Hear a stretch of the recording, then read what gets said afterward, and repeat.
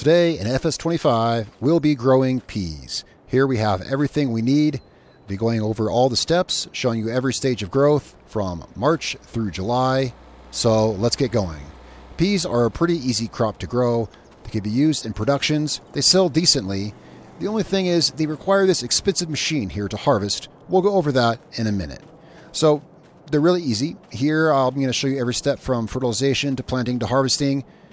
First, let's have a look at the crop calendar. Here you can see peas. In this video, we'll be planting them in March and we'll be harvesting them in July. To find the harvester that you'll need to harvest them, you're going to want to go down here to the vegetable section right here. And the pea harvester is here. And as the game is still new, there's no mods out or anything for this. There's only the one pea harvester to use, and it's pretty pricey.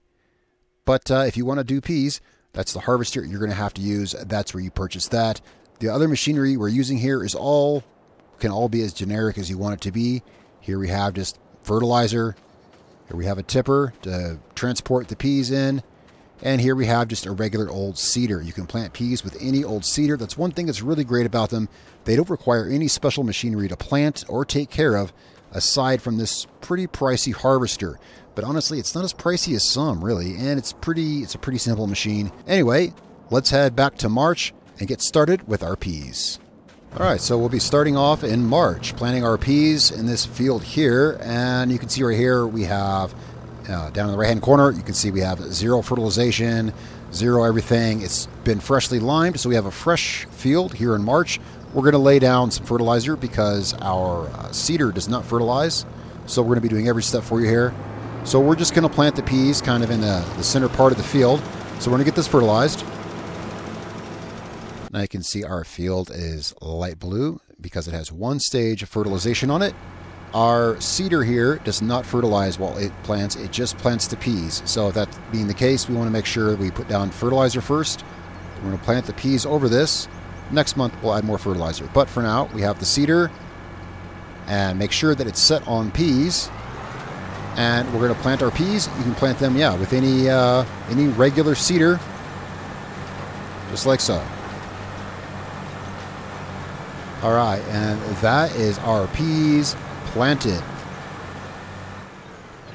We are going to check back here next month in April and see how they look and give them some fertilization. All right, here's our peas in April. After the first stage of growth, they're looking good. You can see they are 50% fertilized from last month. Now that they've grown one stage, we're going to hop in our Kubota here and we're going to lay down another stage of fertilization.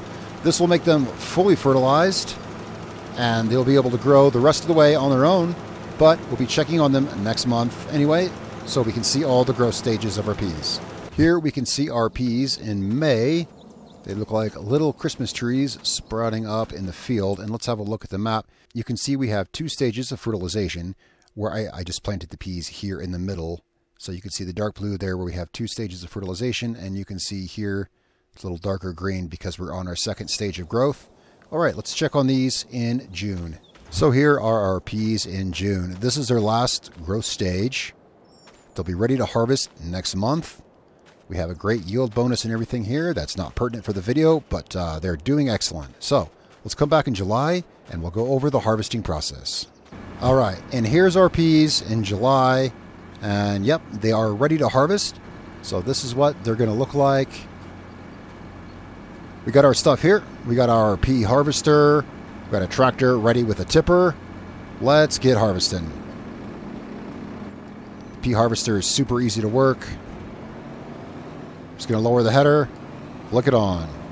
We only have a small amount of peas here to harvest, so we should be able to harvest all of these, and then we'll offload them into the tipper.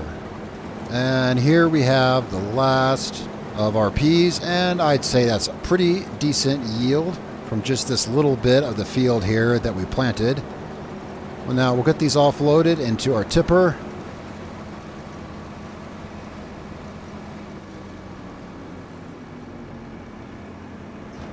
All right, now we've got our pea harvest. Now, you can't store peas in your regular silo, so we're going to run these down to the sell point. They have a pretty decent sell price without much fluctuation year round, so it's fine to sell them now. So we're going to run these down to the canning, uh, the canning plant. I'm just taking them down here to sell because we don't have any use for them at our farm, as I was just growing them for the purposes of this video. All right, here we are at the canning factory, and dump these off.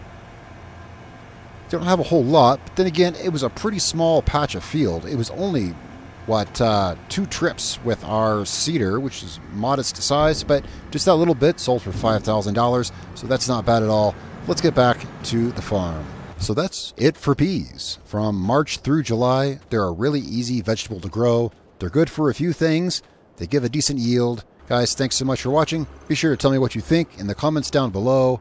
Subscribe for more if you uh, like the content you see here, and uh, be sure to let me know.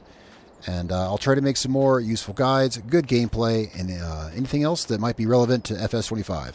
Thanks a lot, guys. I'll see you next time.